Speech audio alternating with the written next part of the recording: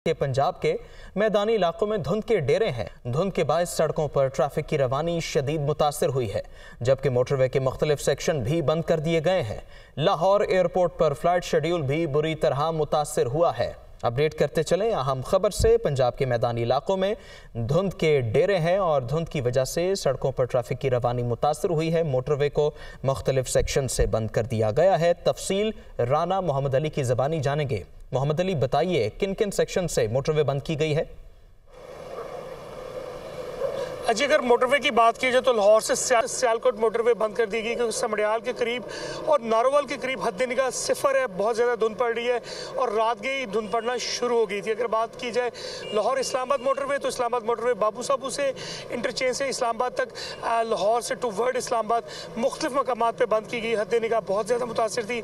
शेखुपुरा के इलाके में शदीद धुंध पड़ी है। रात गई जो सी तो वो मोटरवे बंद की गई है।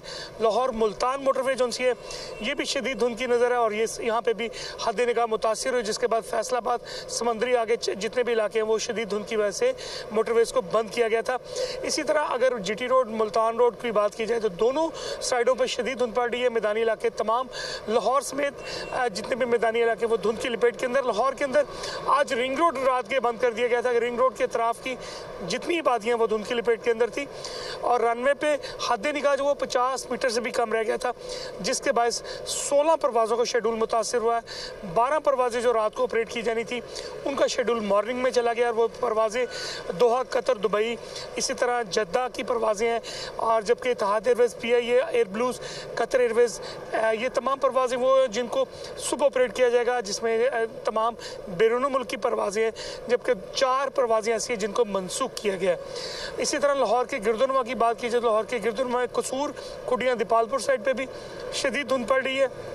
लाहौर के अंदर करोल घाटी सदर कैंट और जोहटोन इकबाल टोन इसी तरह रायवन रोड, फिरोजपुर रोड, ये तमाम इलाके जो उनसे हैं, महमूद बूटी ख़ासतौर पर ये धुंध की लपेट के अंदर है।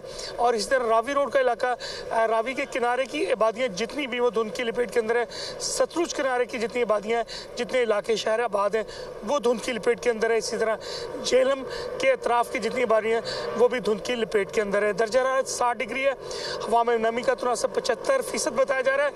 आज कहा जा रहा है कि सुबह आठ से नौ बजे तक धुंध पड़ेगी, जिसके बाद एक बजे के बाद लाहौर में सूरज निकलने का इम्कान ज़ाहिर किया जा रहा है, जिसके बाद सूरज और बादलों की आँख मचोली रहेगी। लेकिन बारिश का फ़िलहाल कोई इम्कान नहीं है।